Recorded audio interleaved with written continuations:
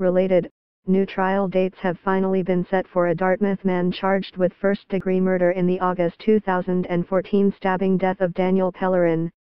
Trevor Kyle Hannon, 26, was supposed to stand trial in Nova Scotia Supreme Court this past July but the hearing had to be delayed after his lawyers stepped down for ethical reasons.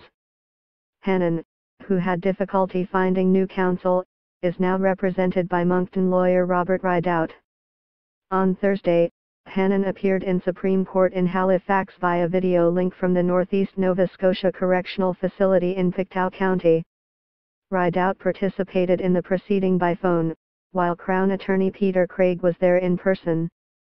Justice Michael Wood scheduled the jury trial for 20 days beginning October 15, 2018. Pellerin, a 28-year-old father of two young daughters, died after he was assaulted by two males in the parking lot of Farrell Hall in Dartmouth on the night of August 29, 2014.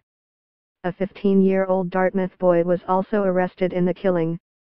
He pleaded guilty in 2015 to second-degree murder and received a seven-year sentence, the maximum youth penalty available for that offense.